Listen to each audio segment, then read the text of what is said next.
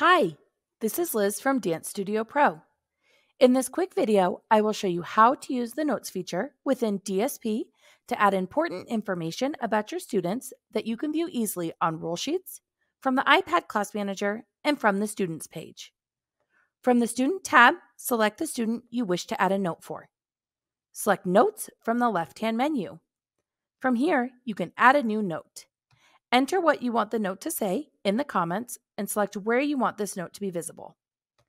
Dance Studio Pro is not a medical record storage software. However, within the comments, you could add a link to a cloud based storage software should your local jurisdictions require you keep copies of medical information on file.